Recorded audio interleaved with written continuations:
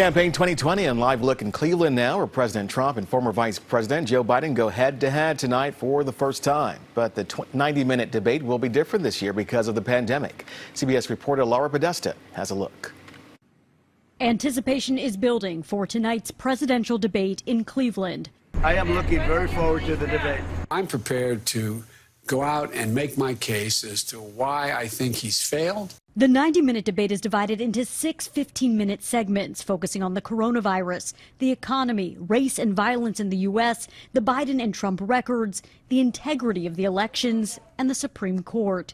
Joe Biden's got to keep this uh, a referendum on Donald Trump. He cannot get bogged down in checking every fact, otherwise, he's never going to talk about what he wants to say.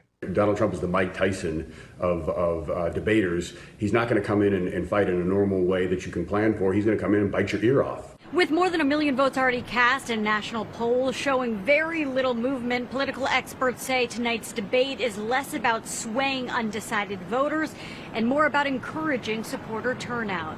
I think it's unlikely that any voter will change his or her mind in the in, in the course of the debate. Um, both candidates will be speaking to their constituencies to make sure that they are confirmed and solid and ready to go. And because of the coronavirus, the audience will be limited and the candidates won't shake hands.